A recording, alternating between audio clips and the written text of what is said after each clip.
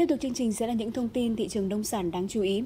Thưa quý vị, 8 tháng đầu năm 2024, xuất khẩu nông lâm thủy sản sang thị trường châu Á đạt 19 tỷ đô la Mỹ, tăng gần 16% so với cùng kỳ năm ngoái thì năm nay ghi nhận sự tăng trưởng vượt bậc, nhất là mặt hàng trái cây và thủy sản.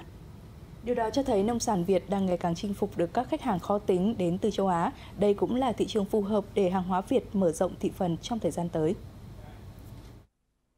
Sản phẩm cà phê của đơn vị này đã có mặt ở nhiều thị trường khó tính như Mỹ, châu Âu, Nga. Hai năm trở lại đây, họ bắt đầu tìm kiếm thêm các đối tác đến từ châu Á. Sau khi nhận thấy việc tiêu thụ cà phê ở châu lục này ngày một tăng, cũng như sự ưa chuộng của khách hàng đối với các sản phẩm cà phê Việt Nam nói chung. Chúng tôi quay sang Trung Đông và châu Á nơi có rất nhiều tài chính mạnh mẽ và người ta tiêu dùng các sản phẩm Việt Nam rất nhiều và họ đặc biệt yêu thích cà phê Việt Nam. Không chỉ cà phê mà thủy sản hay trái cây cũng đang dần chiếm được niềm tin và sự yêu thích của người dân châu Á. Sở dĩ châu lục này đang trở thành điểm đến của nhiều doanh nghiệp là do nước ta có lợi thế về vị trí địa lý, thời gian vận chuyển nhanh, giảm tối đa nguy cơ rủi ro. Đối với ờ, tình hình kinh tế của 2024 thì ờ, châu Á là một trong những thị trường rất là tiềm năng và thuận lợi đối với ngành thủy sản bởi nhiều lý do và yếu tố à, chẳng hạn như là về phương thức vận chuyển về logistics thời gian cũng ngắn hơn so với tất cả các châu lục và thị trường khác. Và đối về mặt vòng vay vốn thì nó cũng là một trong những vấn đề thuận lợi đối với khi nền kinh tế bất ổn như hiện nay. Có sự gia tăng rất là nhiều ở những cái thị trường Đông Bắc Á cụ thể đây là Trung Quốc Hàn Quốc Nhật Bản đây là cái vùng mà dân cư đông thu nhập cao họ có tiền để sẵn sàng tiêu thụ rau quả của Việt Nam vấn đề là chúng ta phải làm sao tăng cường được chất lượng để đáp ứng được cái thị hiếu và nhu cầu của những thị trường này. Báo cáo từ Bộ Nông nghiệp Phát triển Nông thôn cho thấy, thị trường Đông Bắc Á gồm 3 đối tác thương mại lớn là Trung Quốc, Nhật Bản và Hàn Quốc đang chiếm tỷ trọng lớn nhất nhập khẩu nông lâm thủy sản của Việt Nam ở khu vực châu Á. Các quốc gia này tiếp tục là đối tác lớn của nông sản Việt trong thời gian tới. Bên cạnh đó, thời gian qua, nhiều doanh nghiệp đã thành công trong việc đưa hàng đến các nước Đông Nam Á như Thái Lan, Indonesia, Singapore khi nhận thấy nhu cầu nông sản của khu vực này ngày một lớn.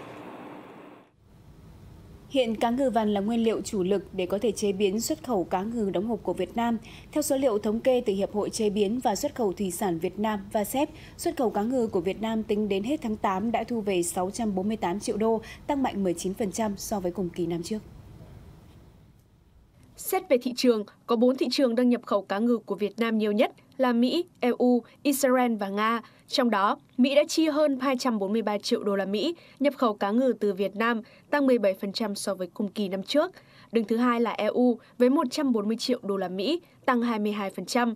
Đứng thứ ba là Israel với hơn 48 triệu đô la Mỹ, tăng mạnh 47% so với tháng 8 năm 2023. Nga là thị trường đang chứng kiến mức tăng mạnh nhập khẩu cá ngừ của Việt Nam với 29 triệu đô la Mỹ.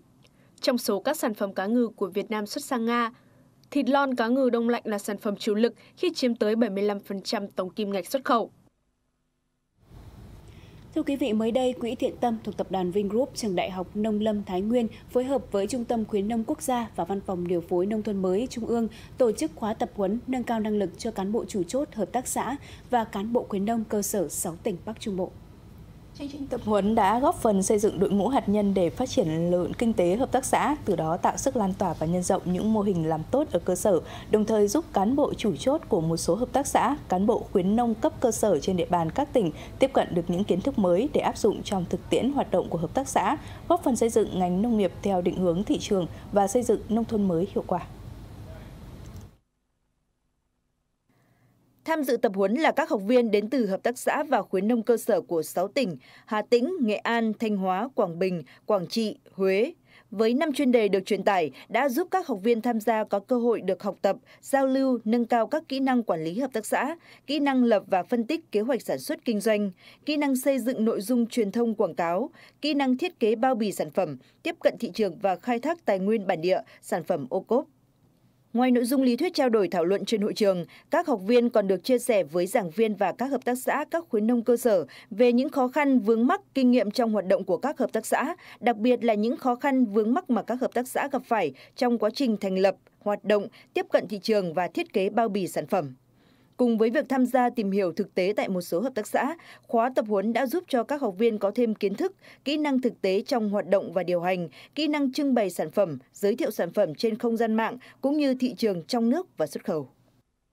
Thưa quý vị, hiện nay giá thanh long tại vùng chuyên canh lớn nhất của tỉnh Tiền Giang là huyện Triệu Gạo đang được các thương lái thu mua với giá cao gấp 3 lần so với giá mua ở các tháng trước. Hiện nay các vựa thanh long thu mua thanh long với giá 20.000 đồng 1 kg loại 1, 24.000 đồng 1 kg đối với loại 2, 19.000 đồng 1 kg với loại 3 và loại 4, có giá 14.000 đồng 1 kg. Theo nhà vườn trồng thanh long, giá thanh long hiện nay đạt mức cao vì mùa chính vụ đã sắp hết. Hầu hết các vườn đã sắp hết trái nên nguồn cung thấp hơn. Giai đoạn thanh long chính vụ kéo dài từ tháng 3 đến giữa tháng 9 dương lịch. Sau khi kết thúc thu hoạch thanh long chính vụ, người trồng sẽ tiếp tục chăm sóc vườn để chuẩn bị cho vụ sản xuất nghịch vụ. Tiếp tục với giá lợn hơi ngày hôm nay đã giảm nhẹ tại một số tỉnh thành phố sau nhiều ngày liên tiếp duy trì đà tăng. Hiện tại khu vực miền Bắc vẫn giữ giá cao dịch nhất cả nước và giá khảo sát trên toàn quốc trong phiên sáng nay dao động trong khoảng là 64.000 đến 70.000 đồng một kg. Tại miền Bắc, giá lợn hơi điều chỉnh tăng giảm trái chiều tại một số địa phương, thu mua trong khoảng từ 68 đến 70.000 đồng một kg. Cụ thể Lào Cai tăng 1.000 đồng lên mức 69.000 đồng một kg. Ở chiều ngược lại, tại Thái Nguyên, Hà Nội lần lượt giao dịch tại 69.000 đồng một kg và 70.000 đồng một kg sau khi cùng giảm một giá. Giá lợn hơi tại khu vực miền Trung Tây Nguyên cũng đi xuống, giao dịch trong khoảng từ 64 đến 68.000 đồng một kg. Tại Thanh Hóa giảm 1.000 đồng, còn 68.000 đồng một kg. Khu vực miền Nam giá lợn hơi tiếp đà tăng, giao động trong khoảng từ 64 đến 66.000 đồng một kg. Kiên Giang tăng 1.000 đồng lên 64.000 đồng một kg. Bến Tre 66.000 đồng một kg, Đồng Tháp 67.000 đồng một kg. Thưa quý vị, trong bối cảnh cạnh tranh gay gắt của thị trường xuất khẩu thủy sản toàn cầu, việc xây dựng một thương hiệu mạnh mẽ không chỉ là một yếu tố quan trọng giúp nâng cao giá trị gia tăng của sản phẩm, mà còn là chìa khóa mở rộng thị trường cho ngành hàng cá tra. Trong những năm qua tại tỉnh An Giang, doanh nghiệp đã không ngừng nỗ lực để củng cố thương hiệu và đạt được những bước tiến vượt bật trong lĩnh vực thủy sản.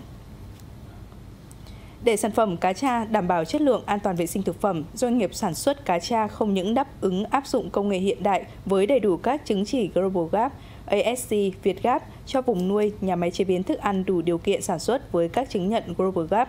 hợp chuẩn tiêu chuẩn Việt Nam đáp ứng đủ các điều kiện xuất khẩu đến các thị trường khó tính nhất trên thế giới. Nhờ đó, các sản phẩm của Việt Nam đảm bảo chất lượng an toàn vệ sinh thực phẩm và được ưa chuộng tại rất nhiều thị trường như EU, Trung Quốc, Thái Lan và Nam Mỹ. Thưa quý vị, để đảm bảo sản xuất thắng lợi vụ thu đông 2024, Sở Nông nghiệp và Phát triển Nông thôn tỉnh Bến Tre khuyến khích nông dân ưu tiên sử dụng các giống lúa ngắn ngày, giống xác nhận và thích nghi với điều kiện địa phương như OM6162, OM4900, OM5451, OC10. Theo đó, Sở Nông nghiệp và Phát triển Nông thôn Bến Tre khuyến cáo thời gian xuống giống tập trung trong khoảng từ ngày 27 tháng 9 đến ngày 10 tháng 10 năm 2024. Nếu điều kiện thích hợp, bà con có thể xuống giống sớm hơn để đảm bảo thời gian cho vụ sau, nhưng chậm nhất đến ngày 20 tháng 10 năm 2024 phải kết thúc xuống giống vụ thu đông. Theo kế hoạch, diện tích sản xuất vụ lúa thu đông 2024 trên địa bàn tỉnh Bến Tre là 716 ha, tập trung ở huyện Ba Chi 500 ha, Rồng Trôm 216 ha, Ước năng suất bình quân là 45,88 tạ trên mỗi hecta và sản lượng là 3.285 tấn.